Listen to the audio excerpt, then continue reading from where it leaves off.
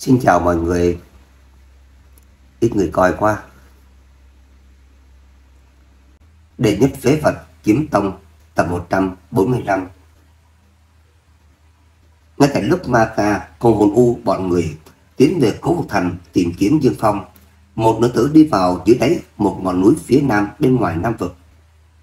Đây là một ngọn núi cao vạn trường từ đỉnh núi đến chân núi bóng loáng như vách tường, không có bất kỳ nơi nào để đặt chân. Nữ tử đi vào chân núi, nữ tử thân mang một bộ trang phục màu xám trắng, làm nổi bật dáng người, có lồi, có lõm, nắng bỏng treo người, tóc xanh mượt như mây, dài tới mông, khuôn mặt trắng bịt, mắt phượng, ánh mắt sắc bén. Tướng mạo mặc dù không tính là mỹ nhân tuyệt thế, nhưng lại là có khí chất đặc biệt, hấp dẫn người khác. Hai tay buông lỏng phía sau lưng, nữ tử ngẩng đầu, nhìn đỉnh núi cuối tầm mắt kia, trong mắt sự hờ hững lóe lên. Đây chính là Võ Thần Sơn sao? Võ Thần sao? Hy vọng đừng để A Nam tỉnh ta thất vọng, nếu không ta sẽ săn bằng ngọn núi này. Đã xong, A Nam tỉnh từng bước một đi về phía vách núi bóng loáng như vách tường kia. Khi đi đến trước vách núi, A Nam tỉnh hai mắt híp lại, sau đó song quyền bỗng nhiên xuất kích đánh vào vách núi bóng loáng như vách tường kia. Oanh! Một tiếng nổ lớn nặng nề vang vọng truyền ra, lập tức trên vách núi đá kia xuất hiện hai quyền ấn sâu mấy cm. A Nam Tĩnh thả người nhảy lên, hai chân rơi vào trong quyền ấn kia. Tiếp theo, song quyền lần thứ hai đánh ra. Cứ như vậy, A Nam Tĩnh dùng phương thức này chậm rãi hướng đỉnh núi kia leo lên. Tuy rằng như vậy thì hơi chậm, nhưng trong mắt A Nam Tĩnh lại vô cùng kiên định. Trên mặt càng không có nửa phần vẻ sợ hãi cùng mệt mỏi. Phá vách như tòa núi cao vạn trượng này là vùng đất bằng phẳng. Dưới cổ vật thành, đầu có mấy trăm thi thể huyền giả nhân loại bị xếp thành hai chữ Dương Phong thật lớn. Có mấy trăm thi thể huyền giả nhân loại không đầu thì bị treo trên tường thành cổ vực thành. Máu tươi nhuộm đỏ đất đai dưới cổ vực thành. Dưới cổ vực thành, Ma Kha tay cầm Minh Thành Thương ngạo nghễ đứng đó. Minh Thành Thương kia lúc này đã từ đen nhánh biến thành đỏ tươi. Bên trên cố thành, vô số huyền giả nhân loại kinh hãi nhìn sang dưới thành, nhìn xem Ma Kha như một sát thần kia. Mà huyền giả nhân loại trong mắt ngoài trừ kiên kỳ cùng sợ hãi thì vẫn là kiên kỳ cùng sợ hãi. Dù vong, người nếu không ra tới, và ta liền một ngày giết 100 huyền giả nhân loại, cho đến khi tất cả huyền giả nhân loại tại cổ chính trường chết sạch. Dưới cổ vực thành, thanh âm của Ma Kha như hồng chung truyền ra xa. Đúng lúc này, mấy chục huyện giả nhân loại bị bọn người ma tộc bắt giữ đưa tới trước mặt Ma Kha. Dư Phong, người ra hay là không ra? Ma Kha trầm giọng quát. Không có bất kỳ lời đáp lại nào, trên tường thành càng là hoàn toàn yên tĩnh.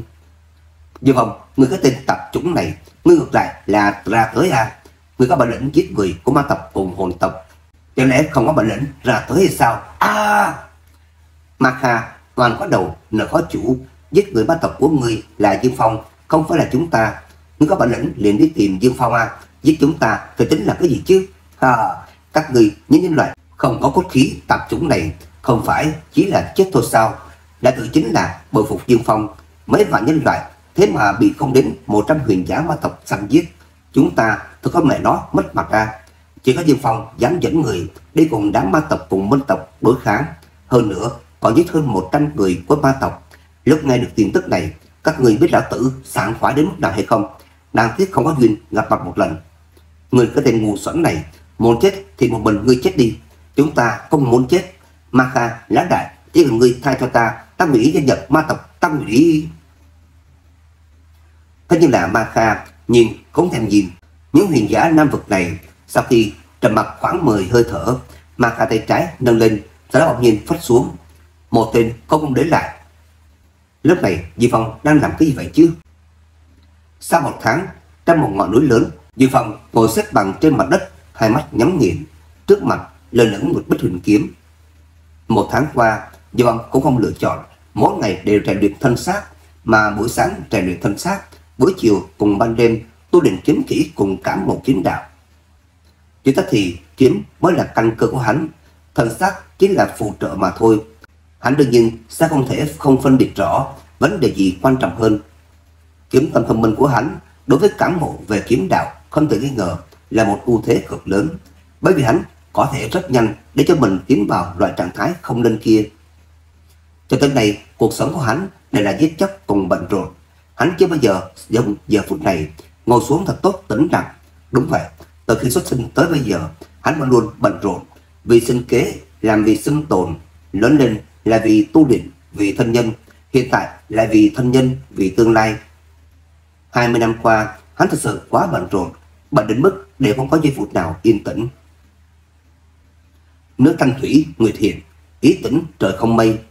Tĩnh có thể nghe được tiếng lòng của mình, có thể để tâm thanh tịnh, chiếu rõ thực tính của vạn vật, có thể nhìn thấu như thần linh, sinh cơ cùng khốn cảnh để trở nên rõ ràng, cầm nên được tất cả mọi chuyện để có thể gánh phát, cầm không nổi thì tất cả đều là vô lực, buông bỏ được tất cả đều là đại đạo, không buông bỏ được tất cả đều là lầm đường lạc lối. Cái gọi là kiếm tâm tâm minh xuất phát từ nội tâm thông thấu, tâm linh giác ngộ, mở ra, nhận thức rõ, lắng đọng đương nhiên mà thành đạo ngay tại bên cạnh mình. Người đến tận đây, do con chậm rãi mở hai mắt ra, trong mắt là một mảnh thanh tĩnh, nhìn xem chuôi bất trường kiếm lơ lửng trước mặt này nói nhỏ, tan. Một âm thanh vang lên, chuôi kiếm này rắc một tiếng vang nhỏ, bạo liệt nổ tung thành vô số mảnh vỡ. Nhưng mà đúng vào lúc này, Tiêu Phong lại lần nữa quát khẽ, hợp. Một màn quý dị liền xuất hiện, chỉ thấy chuôi kiếm đã nổ tung thành vô số mảnh vỡ kia, cấp tốc hồ tụ lại với nhau, khôi phục thành chuôi kiếm lúc ban đầu. di vong hít sâu một hơi, sau đó tay phải chậm rãi siết lại, tan lý Diệp Phong làm trung tâm, trong phạm vi 10 trường chung quanh, tất cả vật chất trong nháy mắt như pha lê bị trọng kích, oanh một tiếng vang nhỏ, toàn bộ vỡ nát. Sau khi vỡ ra, lại tiếp tục bạo liệt nổ tung, không đến mới hơi thở. Chung quanh Diệp Phong, tất cả vật chất đều như cắt miệng rơi đầy đất. Diệp Phong cầm ngón tay búng ra, U Minh Quỷ Hỏa thoáng hiện trong tay, lần nữa cầm ngón tay búng ra, U Minh Quỷ Hỏa đón gió căng phòng lên, nháy mắt hóa thành một biển lửa xuất hiện tại giữa sân. Thân hình Dương Phong chìm vào bên trong biển lửa, nhưng Dương Phong lại không có chuyện gì xảy ra. Không chỉ có như thế, giờ này khắc này, U Minh Quỷ Hỏa kia vậy mà như cùng hắn hòa làm một thể, bởi vì toàn thân Dương Phong đều là ngọn lửa U Minh Quỷ Hỏa. Nhìn xem một màn này, Dương Phong lần nữa hít sâu một hơi, sau đó ngón tay búng một cái, một sợi kiếm khí tự sắc bắn ra. Lớp sợi kiếm khí tự sắc này bắn ra phạm vi khoảng 10 trường, Dương Phong lại nói nhỏ, ngừng. Đạo kiếm khí tự sắc này lập tức quý dị ngừng ngay tại chỗ. Nhìn xem đạo kiếm khí tự sắc này, hai tay Dược Phong không thể kìm được, gấp gáp siết lại. Bởi vì hắn phát hiện ra năng lực ẩn chứa bên trong kiếm khí tự sắc với sự giá trị của kiếm ý giết chấp lục trọng vậy mà so với bình thường còn muốn mạnh hơn chỉ ít gấp 5 lần bàn tay khẽ động 200 bất đường kiếm xuất hiện tại giữa sân lúc 200 bất đường kiếm xuất hiện ở giữa sân trong sân nhất thời xuất hiện một màn quỷ dị. Chỉ thấy 200 bất hồn kiếm lại đến cuồng xuyên loạn xung quanh Dương Phong. Từng đạo kiếm quang trong sân không ngừng hiện lên thành thế vô cùng kinh người. Ngừng. Dương Phong lại quát khẽ. Lập tức 200 bất đồng kiếm kia đột nhiên ngừng ngay tại chỗ. Xoắn.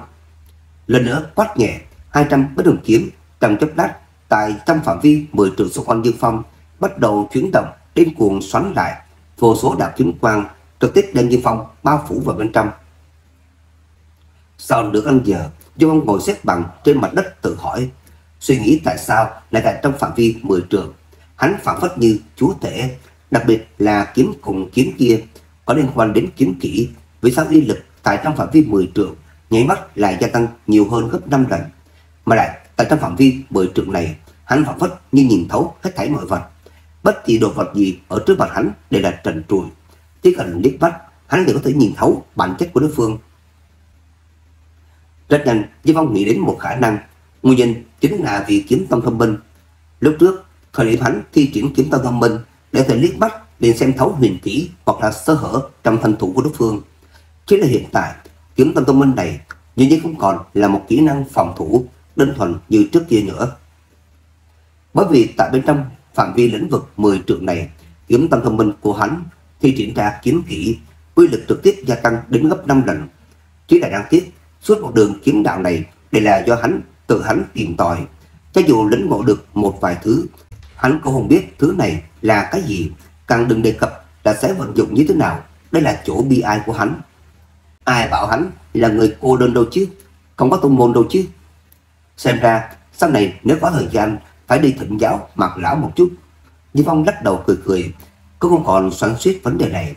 Chẳng qua chiêu thức này vậy mà nếu ngộ ra được, cũng nên đặt cho nó một cái tên. Trầm tư hồi lâu, Di Phong nhẹ cười cười nói ra. Đã có thể tăng cường kiếm kỹ, vậy nên gọi kiếm chi lĩnh vực là được. Uhm, kiếm vực không sai, liền gọi là kiếm vực đi. Ha ha ha. Ngăn chặn sự kích động trong lòng, Di Phong đem 200 thanh kiếm thu lại. Sau đó chỉ để lại một thanh kiếm lên lượng ở trước mặt hắn. Nhìn xem chui kiếm này, Di Phong nhẹ nhàng cười một tiếng, cầm ngón tay búng ra, U Minh Quỷ Hỏa nhập vào phía trên thân bất đường kiếm kia, lập tức bất đường kiếm kia biến thành một thanh kiếm lửa. Tại dưới sự khống chế của Dương Phong, bất đường kiếm này đột nhiên quay lại, mũi kiếm chỉ về hướng hắn. Ngay một khắc này, Dương Phong chân phải bỗng nhiên đạp mạnh, thân thể hướng về phía xa, mãnh liệt bắn đi. Nhưng là chuôi kiếm lửa này cũng trong nháy mắt bắn ra, hướng về phía quỷ tích của hắn lao theo. Sau đó, mặc kệ diên Phong bỏ chạy như thế nào, chuôi kiếm lửa này đều truy theo không bỏ, mà tốc độ lại còn cực nhanh, nên vì không phải diên Phong đã đập thêm cho mình một tấm thần hành phù, đồng thời vận dụng tập phong hỏa. Hắn chỉ sợ sớm đã bị thanh kiếm lửa này đâm ra một lỗ thủng.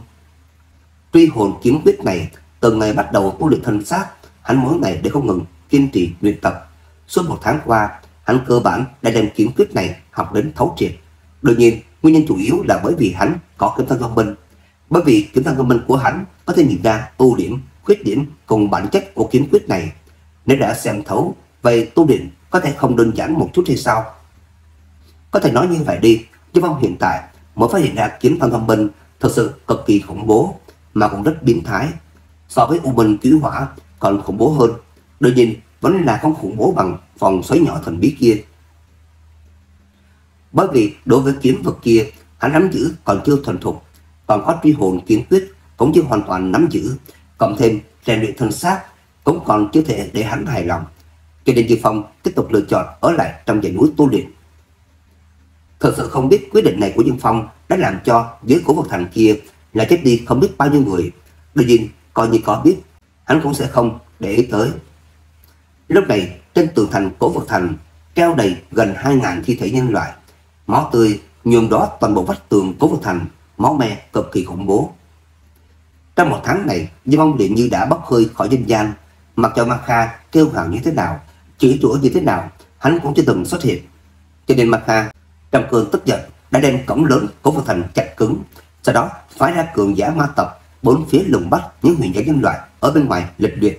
Sau khi bắt được, để đưa tới dưới của Vô thành, sau đó chém giết từng người một Thủ đoạn đẫm máu này làm cho toàn bộ huyền giả nhân loại vừa sợ vừa giận. Giận là ma kha kia như là một sát thần, gặp người liền giết, hoàn toàn không đem huyền giả nhân loại để vào trong mắt. Sợ chính là ma kha kia thực lực mạnh đến mức để rất nhiều người bọn hắn tuyệt vọng. Đặc biệt Minh Thần Thương mà Ma Kha đang cầm trong tay kia. Tại trong một tháng này không phải là không có huyền giả nhân loại không chịu được lửa giận xuống thành đi cùng Ma Kha đơn đấu nhưng kết quả đều không có lệ lệ để trở thành một thi thể bên trong vô số thi thể trên tường thành kia. Nhưng tăng kiệt của trung vực trong một tháng này cũng như bốc hơi khỏi nhân gian, không một người nào xuất hiện. Trong lúc đó, còn có người đề nghị tất cả mọi người cùng liên thủ đi cùng ma tộc bọn người này quyết một trận sinh tử chiến. Thế nhưng là mỗi khi có người đưa ra đề nghị này, dưới sân chính là rơi vào trầm mặc. Đúng thế, chỉ cần đứng ở trên tường thành không đi xuống, ma kha cường năng kia làm gì được bọn hắn đâu chứ. Thế nhưng là xuống dưới, xuống dưới liệu có thể sẽ chết ta. Mà lại xuống dưới là có chỗ tốt gì đâu chứ. Vì trước được cơn dịch này hay sao? Đừng nói giỡn chứ, bản sẽ không ngu ngốc như vậy. Lại nói, Ma Kha Tiền là Dương Phong, bản xuống dưới, đây không phải là thay Dương Phong đi chịu chết hay sao? Mặc dù dưới thành, mỗi thợ một khắc đều có người đang chết, thế nhưng là những người chết đi này, cùng bọn hắn có liên quan gì chứ? Đúng là có chút liên quan đó, nhưng đại đa số kỳ thực đều là không có bất cứ quan hệ gì. Thử hỏi ai sẽ vì người cùng mình không có liên hệ gì nhiều vứt đi tính mạng đâu chứ. Dương Hồng đâu, hắn chẳng lẽ không đứng ra giải quyết chuyện này hay sao chứ? Chuyện này cuối cùng là do hắn làm ra mà. Tinh Thần thành có huyền giả bắt đầu nghĩ đến Dương Phong, đầu sỏ gây ra chuyện này. Đứng ra sao? Có người cười lại nói ra. Đứng ra để chịu chết hay sao? Ta muốn nói à, tên Dương Phong này thật sự là thông minh, giết người của ba tộc, đoạt báu vật của bà hắn, mà hậu quả này lại là muốn tất cả huyền giả nhân loại chúng ta đến gánh chịu. Hắn cái thằng này tính toán là thật tốt đó. Kỳ thực Dương Phong không làm gì sai, giữa cho thì ba tộc cùng minh tộc thực sự là quá mất phát lối, cũng là nên có huyền giả nhân loại ra tới, diệt đi uy phong của bọn hắn. Lại nói, lúc trước, thời điểm biết được Dương Phong cùng huyền giả Nam Vực diệt ma tộc cùng minh tộc, các ngươi những người này không phải cũng đều vỗ tay khen hay hay sao? Sao thế? Hiện tại cả đám đều lệch lầm rồi sao? Có người chân trọng nói ra, hắn giết ma tộc, chúng ta khen hay, nhưng là hắn giết đối phương thì cũng nên đứng ra gánh chịu hậu quả này. Những huynh đệ chết quanh dưới thành kia, chẳng lẽ đáng chết hay sao? Thực lực không đủ, tới khu vực thành này chết thì có thể trách ai được chứ? À, Dương Phong có phải là cha ruột của ngươi hay không thế? Ngươi làm sao lại giúp hắn nói chuyện như vậy à? Có phải là muốn đơn đấu hay không? Đơn đấu sao? Chơi thì chơi à? Ta đã sớm nhìn ngươi chướng mắt lắm rồi. Bên trên tường thành, chúng huyền giả bắt đầu cãi nhau kịch liệt. Thời gian trôi qua rất nhanh, đã mất lại là một tháng trôi qua. Tại Phó Thần Sơn, một chân đạp lên đỉnh núi Phó Thần Sơn, tiếp theo một bước chân thứ hai cũng đạp lên. Ở một nơi nào đó, một nam tử mặc trường bào màu tím, bên trên sổ ghi chép phán hoan thật dày trong tay hắn, vạch giữa hai cái tên Lý Thanh Thủy, Nam Vong Mộng. Trong lòng đất vùng đất cửu U, một nam tử toàn thân bao trùm hoàng kim từ lòng đất chậm rãi bay lên. Trong tay hắn, một viên long ấn đang nhanh chóng xoay tròn. Tại một khắc nào đó, nam tử đột nhiên nói, Như vọng, ta phải thật tốt cảm tạ ngươi, để vì không có ngươi, nhân hoàng ấn này cũng sẽ không nhận ta làm chủ. ta hiện tại liền phải đến, thật tốt cảm ơn ngươi. Lại là tại một ngọn núi, trên đỉnh núi, một đứa tử một tay quỳ trên mặt đất, ở trước mặt nàng, một thanh cổ sao đen nhánh, lắng lặng lơ lửng. Kiếm là gì? Một thanh âm từ hư không bỗng nhiên vang lên. Sinh mệnh. Kiếm là gì? Thanh âm lần nữa xuất hiện. Linh hồn. Kiếm là gì? Là tất cả của ta. Dưới sân liền im bặt. Hồi lâu sau, thanh âm kia khẽ khẽ thở dài. Thôi được, kiếm ý bát trọng, phong chỉ ý cảnh bát trọng. Tuy không khó kiếm tâm thông minh, nhưng cũng xem như kiếm đạt kỳ tài. Còn chở những gì sau đó, chỉ sợ cũng là phí công. Dứt lời, tuy cổ sao này trong lúc đó bộc phát ra một thanh âm kiếm treo vang vọng khắp đất trời. Với cách này, tất cả cường giả tuyệt thế huyền giả đại lục đều nhìn về phía phương hướng này. Tại đáy vật đoàn hồn trước nhà tranh, mặt lão nhìn trên trời một lúc lâu, sau đó chậm rãi lắc đầu. Kiếm hoàng xuất thế, cũng không phải là hắn, thực sự là... Cũng là tại thời khắc này, tại toàn bộ huyền giả đại lục, phàm là kiếm tu đeo kiếm, kiếm để tại thời khắc này thoát ra khỏi bàn tay của chủ nhân, sau đó hướng về phía chân trời, bộc phát ra một trận kiếm treo. Kiếm hoàng xuất ra vạn kiếm phục. Trong đội lớn, Di Vong đang tu định kiếm kỹ, đột nhiên nhớ mày, bởi vì sau khi tiếng kiếm reo vang vọng khắp chân trời xuất hiện, kiếm trong tay hắn lại có ý thoát ra. Nhưng xem kiếm trong tay mình, Di Vong thấp giọng nói, ngay cả người cũng phải thành phục cái gọi là kiếm hoàng kia sao? Hắn đương nhiên biết đạo kiếm treo lúc trước có ý nghĩa là gì. Cho tới thì trước kia Mạc Lão đã nói rất nhiều chuyện về kiếm hoàng với hắn. Có người đã trở thành kiếm hoàng. Đối với chuyện này, trong lòng hắn không hề cảm thấy chút khó chịu nào. Cho tới thì hắn chưa hề muốn trở thành kiếm hoàng gì đó. Kiếm hoàng, danh hiệu cao nhất của những kiếm tu, nhưng ai quy định kiếm hoàng chính là mạnh nhất trong những kiếm tu đâu chứ. Trước kia đây là kiếm hoàng mạnh nhất, nhưng đó là trước kia. Dù bọn hắn liền không tin tà mị, dưới tay thì kiếm của hắn sẽ không thành phục bất luận kẻ nào. Kiếm trong tay, Phạm Phát Nhiên không hề nghe được lời nói của Dương Phong, vẫn đang kịch liệt rung động, nên như không phải Dương Phong áp chế gắt gao, chỉ sợ nó đã sớm phóng lên tận trời. Tay có chút dùng sức, rắc một tiếng vang nhỏ truyền ra, nó nhảy mắt hóa thành vô số mảnh vỡ. Ngón đầu nhìn về phía chân trời, Dương Phong nhẹ nhẹ cười cười nói ra, có chút thú vị, chỉ là một thanh âm kiếm reo, vậy bà liền đế kiếm của ta công tiếc phản chủ hưởng ứng Chiến hoàng, thật đúng là khiến người ta phải chờ mong đó.